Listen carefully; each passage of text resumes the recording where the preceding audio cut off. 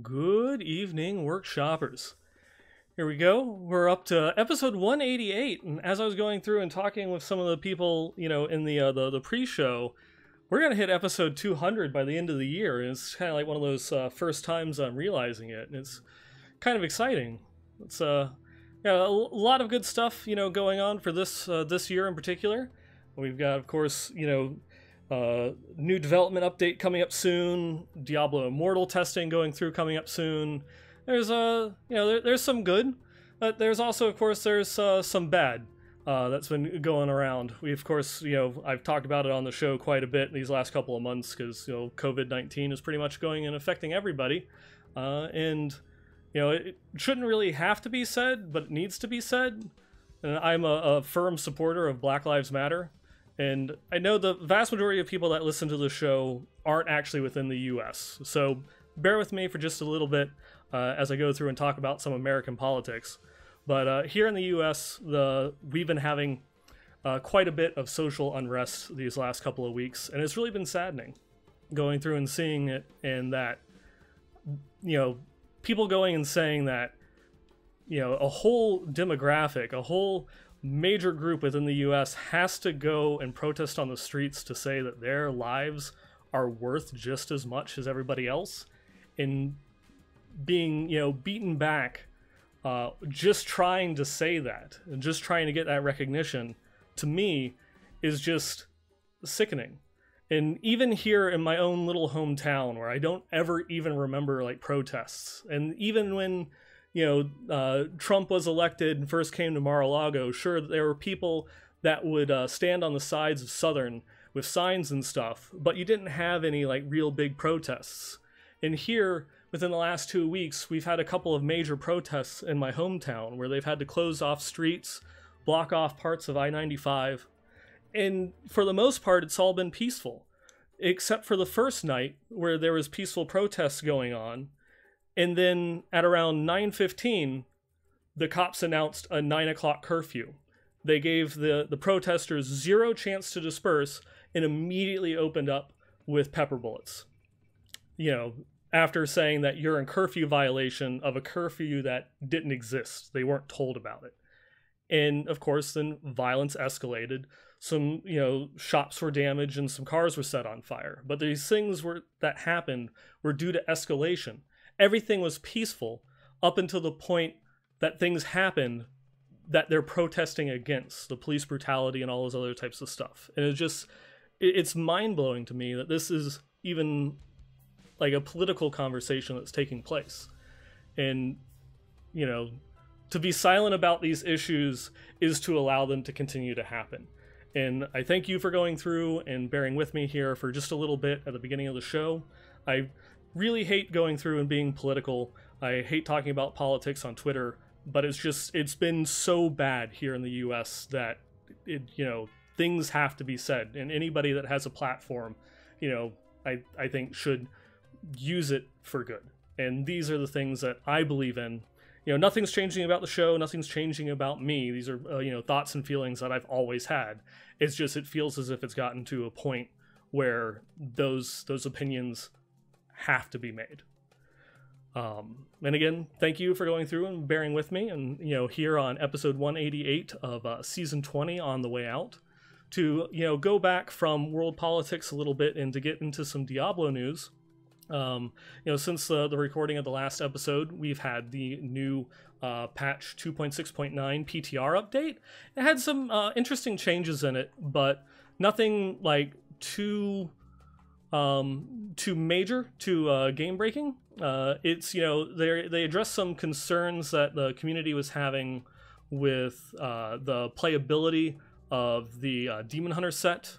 So they they made it uh, work uh, as we originally kind of hoped that it had been intended. Because the the first iteration of the Gears of the Dreadlands set forced you to um, strafe and then stop and then build up momentum stacks and then strafe and then stop and strafe and stop. And it was very uh, uh, janky. It, it, didn't feel uh, you know all that good or all that smooth. And so now they've went through and they've made some uh, fundamental changes to the way that the set worked to where now the uh, the bonus for the momentum stacks will now uh, last up to a maximum of 20 seconds, as well as you'll continue to build stacks while you're strafing, so you won't actually have to you know you drop out of it. Um, it's a it's a very fast set. If you've gone through and you've been watching some of the people that have been streaming the PTR, like SVR, Bloodshed, and others, uh, it, it's really fast. It seems that it's going to be like a really kick-ass uh, T16 like clearing set. Probably is a little bit behind the uh, the absolute maximum that like say a multi-shot Demon Hunter is, uh, but it is it's just going to be ridiculously fast at going through and doing those clears. Uh, you know some of the uh, some other you know thoughts and feelings that are out there. Um, you know, it might be it might be usable in say kind of like a, a pseudo rat run scenario, uh, but it still is missing a little bit when it comes to like the the high end like uh, GR pushes. We'll have to see if there's any other changes between the end of the PTR and when the patch itself goes live. The last couple of seasons, they've always gone back in and they've made a couple of little tweaks in between the uh, the actual PTR ending and the patch that have helped to try and address some of those concerns. Uh, the uh, the other big change uh, that occurred was just to the um, like the the seasonal uh, the seasonal bonus. They're they're dropping it down to 90 seconds instead of two minutes. Uh, but you know, I guess they're right now a little bit um, concerned, you know, with that season 19 repeat, like I was talking about in like the previous episode, and it doesn't feel uh, very impactful like at all. You like barely notice. You're not going to try and pull packs, you know, together in order to try and get uh, wait for that 90 second proc uh, in order to like, go through and like finish finish off packs or kill packs. So it is uh, it's uh, you know just it's going to be a, a, nice bonus is, is probably the best way of you know saying it, but not really something at the moment that you're going to be you know basing your entire uh, rift clear around, which you know, there, there's some positives and negatives that I, I laid out in the, the last episode. You want it to be impactful so that way it makes this season unique and that you're actually kind of changing your playstyle, but you you don't want, you know, angels killing rift bosses. We'll, we'll, we'll see if they're able to tweak those numbers, you know, to bring them a little bit more in line with making the season be impactful but not game breaking. Uh, and then finally, it was just some like little quality of life updates to the new Necromancer set, so that way when you're running the the Masquerade of the Burning Carnival or the Haunted Visions neck piece, simulacrums uh, will now uh, they'll rubber band to the Necromancer, uh, so that way if they get uh, if they're uh, falling a little bit too far behind, they'll just instantly teleport to you. That was one of the big issues with the the Necromancer set was that your your simulacrums would kind of get stuck wherever they were because as you were moving and casting spells, they were staying in the same place, kind of being locked into casting those spells, and it would take a while for them to finally make their way up to you to kill the things that you you wanted them to kill. Um, but the uh, the the damage for the set, unfortunately, kind of like the Demon Hunter set, isn't really quite there. And so, while some people were hoping to see some other buffs uh, to the set for this uh, this round of the PTR, it uh, it didn't happen and that was actually kind of a, a little bit of a head scratcher because you know again you know while it's like kind of nice for like some doing some stuff or like on you know t16 like regular rifts trying to take it into greater rifts it doesn't really have a place. You know it, it the it definitely you know pales in comparison to uh, like some of the new corpse explosion necromancer builds as far as like speed runs go or even just high end clears.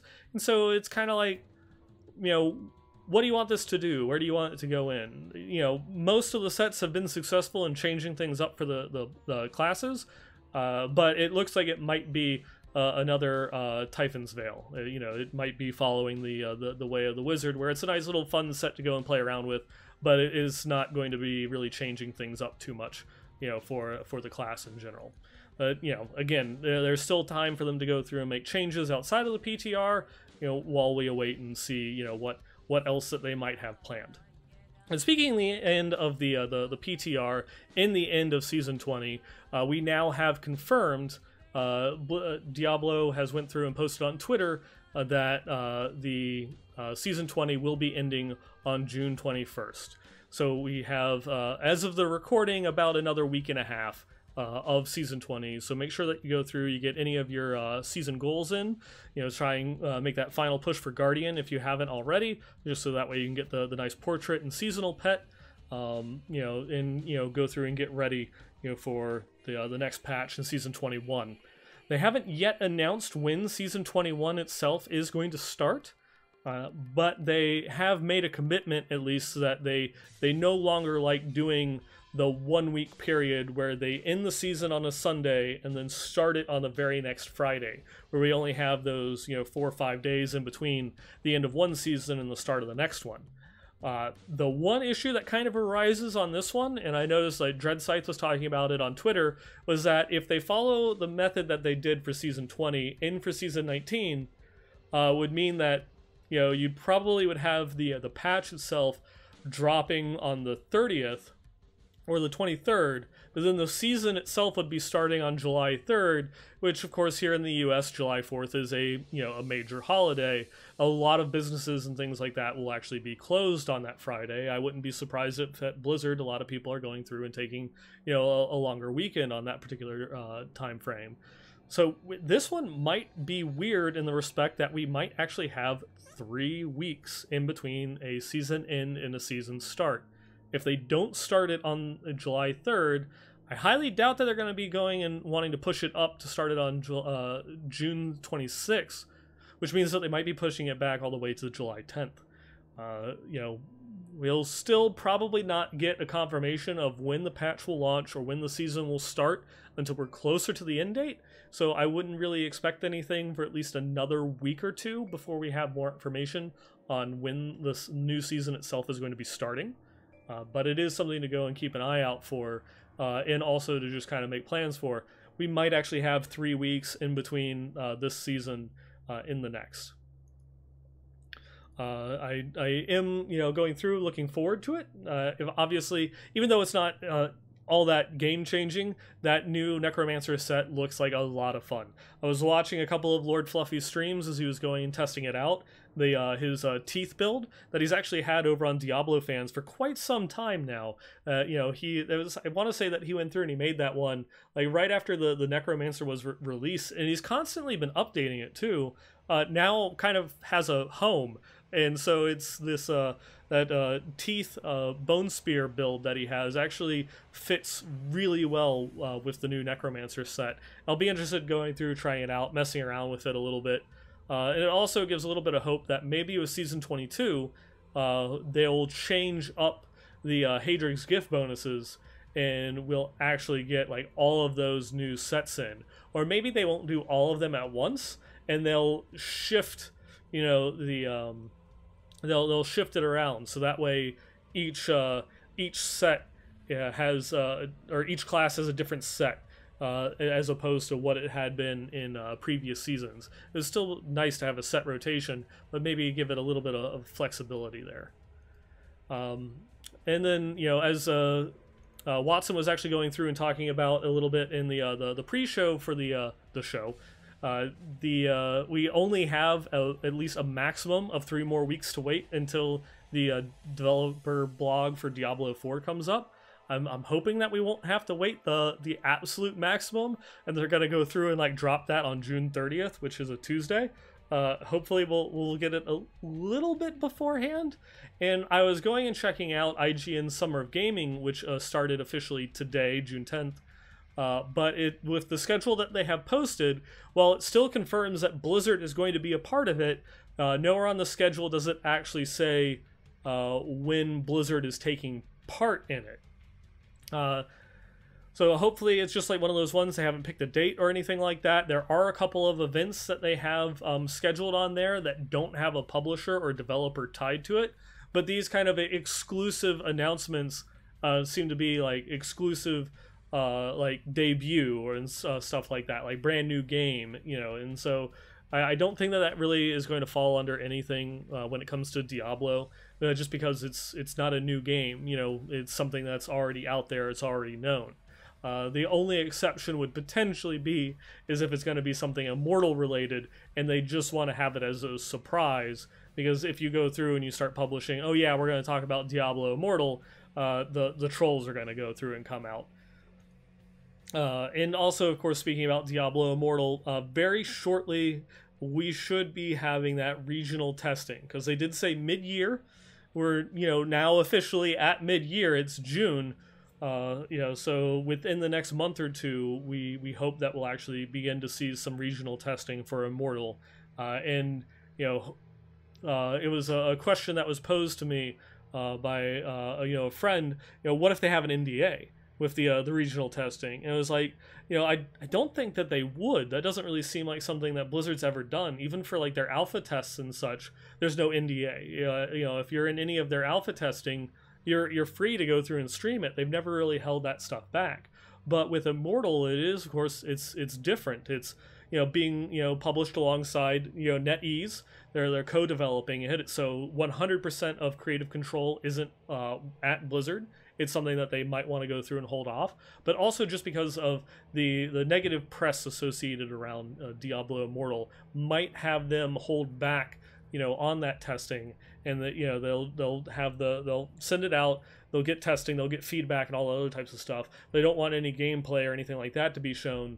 Uh, you know, just to uh, not not feed the trolls more or less. You know, I don't want to say critics because you know they're they're not really uh, most of the people that you know are voicing opinions still about Immortal making phone jokes is not criticism. That's that's just trolling.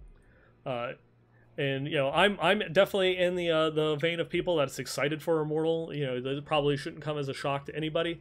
Uh, that you know, I'm I really am looking forward to it.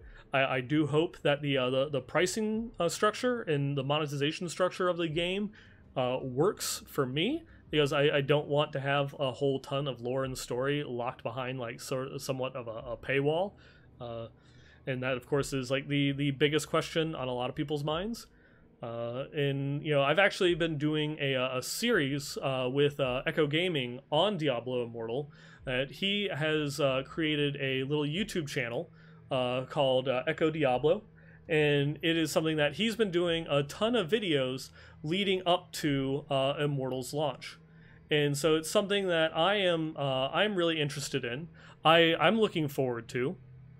Um, you know what uh, what uh, you know Diablo Immortal has or what they have to offer, and so it's something that um, I'm pretty excited about and I'm uh, also happy that you know he decided to go through and reach out to me. And so Echo and I have been doing a series of videos on uh, Diablo Immortal lore. Right now we're just at the beginning, and so there's a lot of people that are excited about Immortal that may that might not have never played a uh, Diablo game in the past, and so we're kind of doing an introduction. You know, to the series and doing kind of like a really quick run through of the entire history of everything. Uh, and so I mean like a really quick run through uh, because the the central component about Immortal is you're going and hunting down, you know, corrupted shards of the World Stone. But what the hell is the World Stone? Even a lot of people that have played every single Diablo game that's out there, it's still kind of like World Stone. That's that thing that Tyrael blew up, right? Yeah, and in the video games, that's about all that you know about the World Stone. They've they've not said anything about it. They've not you know done background or history or anything like that. It got a little bit of a, a lip service mentioning you know in Diablo three at the end where Malthael just says, "Oh yeah, all human souls go to where the World Stone once resided." That was it. You know that's that pretty much talks about the entirety of everything we know about the World Stone coming from just the games, and even then going back through like the Sin War trilogy and the, the books of Cain, the books of Tyrael and such, there isn't really all that much more about the World Stone. It's just things that you have to kind of um, uh, look at and infer, you know, some things from the World Stone about you know what it at what points it's involved with and who's able to beat who and you know well why don't you know, Baal, Mephisto, and Diablo just like break into Sanctuary and kick Inarius's ass. Like he's he's not even an archangel. You know, it's like he's not in the he's not in the Angiris Council. Like he's he's just an angel. The three of them could kick his ass easily. You know, because it doesn't even really talk about that so much in the Sin War trilogy itself. But it's like, yeah, he, he's got the World Stone. He could just easily just like snap his fingers and poof, you know, gone, banished, get out of here. You know, and that's just uh, you know some of the things that you have to you have to kind of like pick up on and look at. You know, it's just that yeah, Inarius. he's he's just he's you know he's just a everyday angel that I guess you know has uh you know uh, access to like you know thermonuclear warheads that could you know completely obliterate all of existence type thing. So yeah, maybe maybe we'll just go through and leave him alone because as soon as as soon as Uldyssian takes the World Stone from him, yeah, then you know then he's just an average Joe. He's locked up in chains and given over to hell. To oh yeah, just go ahead, torture him until the end of existence. That's fine. We don't care. Uh, which of course, Diablo Four, we know Lilith's in there, and nowhere in any of the stories or the lore or the background um, has Lilith ever been mentioned in Diablo without Inarius being mentioned alongside her. Inarius has been mentioned by himself quite a bit uh, back in Diablo 1.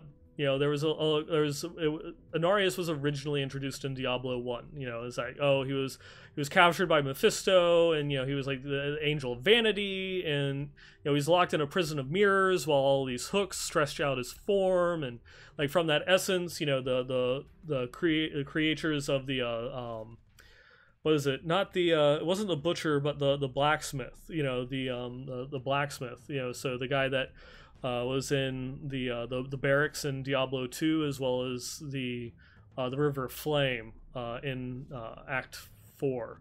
Um, that they were super, they were apparently they were angels or followers of Inarius that were given the same type of torture that Inarius was.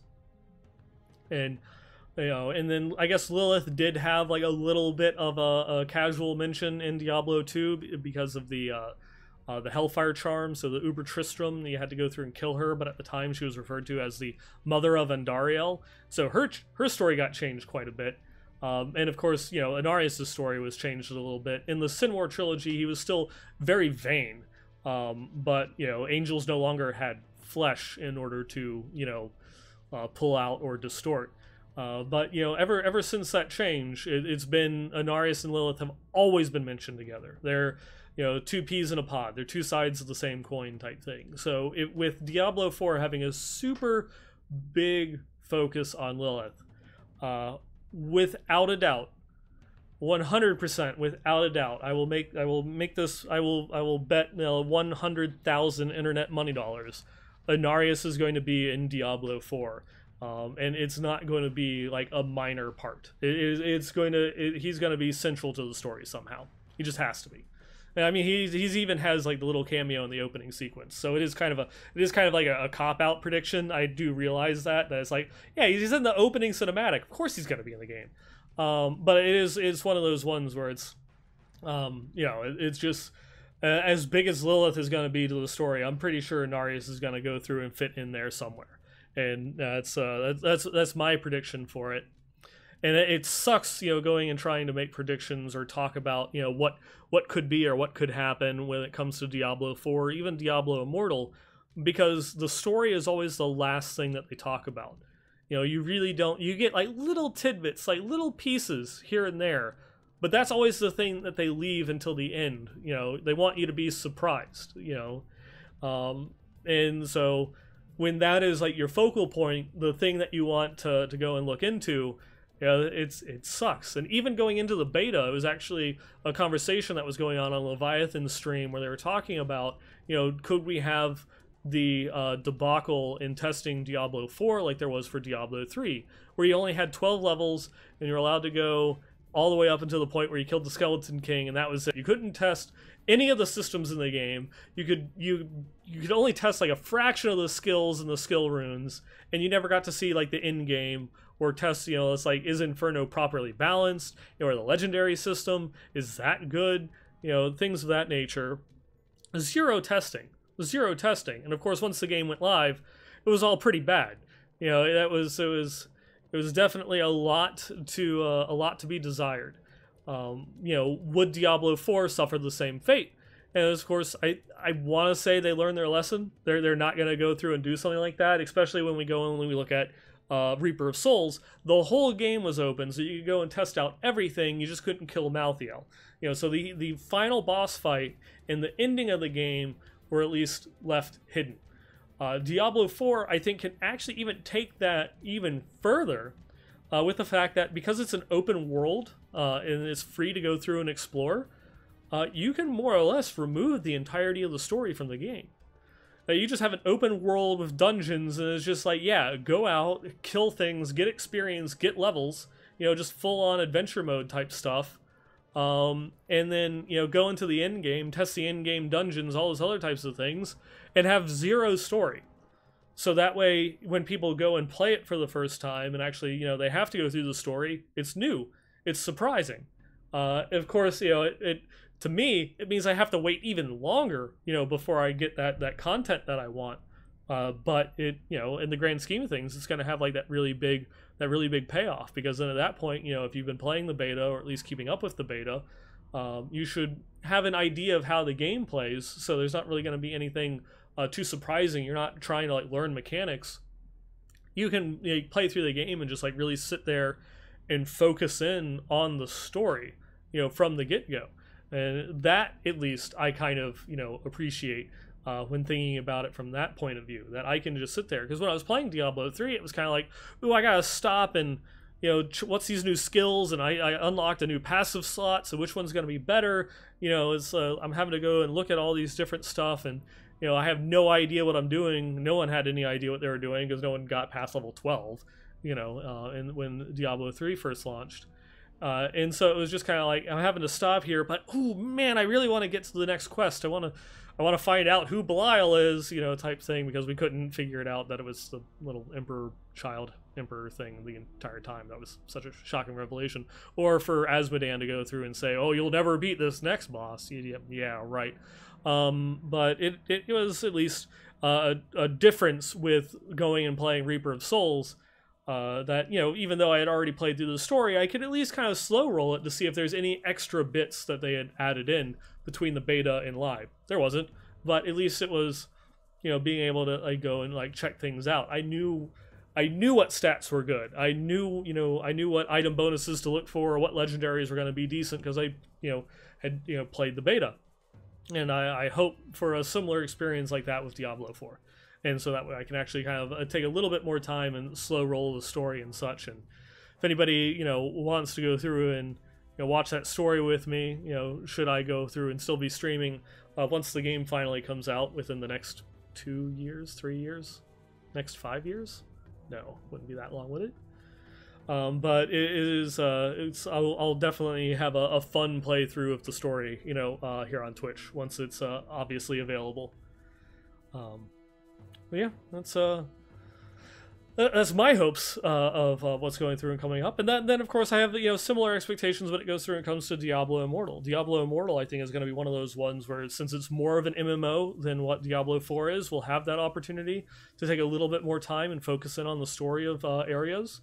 It's also we we just are gonna it's gonna fill in pieces uh, because like uh, in Diablo 3, it takes pay, it takes place 20 years uh, after Diablo 2 but it doesn't the game itself doesn't really answer any questions or fill in any gaps. Uh, the only thing that the game really goes through and tells you is that oh the necromancer from diablo 2 uh, lived because he he has apprentices. And then once you play once reaper of souls came out you know it oh so the sorceress died. But it doesn't really give you any information about how she died. That was done in a short story that exists outside of the game. We, you know I think more people might care a little bit more if you put those stories inside the game. Obviously, have that ability, you know, to opt out of the cutscene or to skip the dialogue for those people that just want to, you know, push through and you know click through the game, which is, you know, admittedly the majority of people playing. But I think that there's a non-insignificant number of people that play the game that want, you know, more of that you know to be in the game itself you know because that's obviously i love the story uh, of of uh, in the lore of diablo but I also like the games too. Uh, and it kind of sucks, you know, from the, the viewpoint that in order to enjoy the lore of Diablo, I can't be playing Diablo. And if I want to learn the story of Lilith and Inarius, I have to read a trilogy of books. You know, um, I want to know about the creation of Sanctuary. I've got to read the Book of Cain. You know, I want to know more about uh, you know how the, the the coven works or interacts. I gotta I gotta read the book of uh, you know uh, Adria. So there's a lot of things that it's like you've got to go outside uh, the game, and you can't just appreciate it from within the context of the game itself.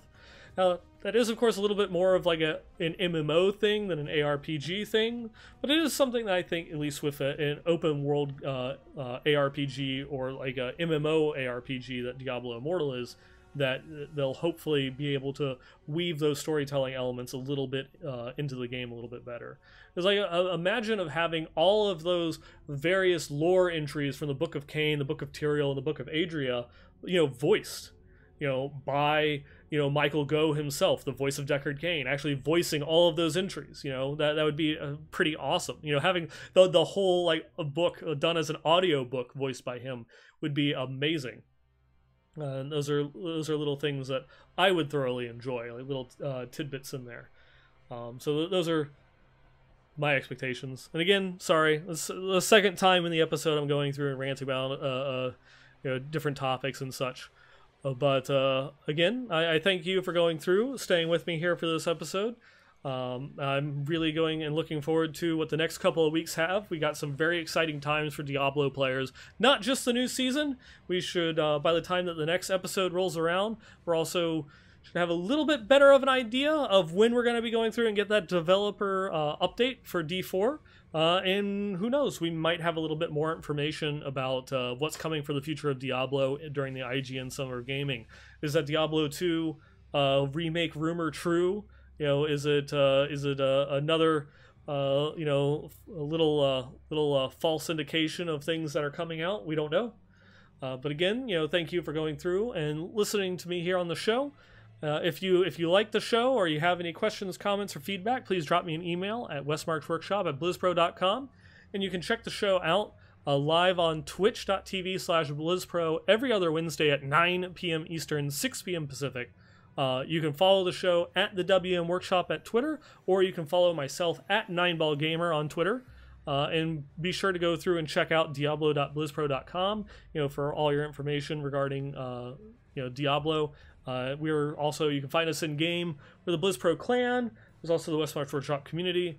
Uh, and then, of course, uh, be sure to go through and check out the lore series that I'm doing uh, with Echo Gaming um, over at Echo Gaming Diablo on YouTube. And you can always find me uh, I should be starting up a, a, new lore series on Diablo fans here within the next couple of weeks. And so, with that, I bid you all good night, and I'll catch you all next time.